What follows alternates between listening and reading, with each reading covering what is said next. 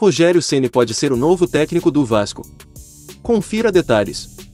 Fala pessoal, tudo bem? Sejam bem-vindos ao canal, sem técnico desde o dia 23, após a derrota para o Goiás, pela 11ª rodada do Campeonato Brasileiro, com a demissão de Maurício Barbieri. O Vasco da Gama escolherá um substituto nesta semana. A informação é do jornalista Lucas Pedrosa, do canal SBT. Segundo ele, Rogério Ceni continua como favorito para assumir o cargo, motivo pelo qual Paulo Brax viajou para São Paulo. O diretor esportivo pretende acelerar as conversas com o profissional. Além do e São Paulo, o gigante trabalha com outros nomes do mercado, como Roger Machado, desempregado, e Paulo Pesolano. Uruguaio que está no Real Valladolid, da Espanha.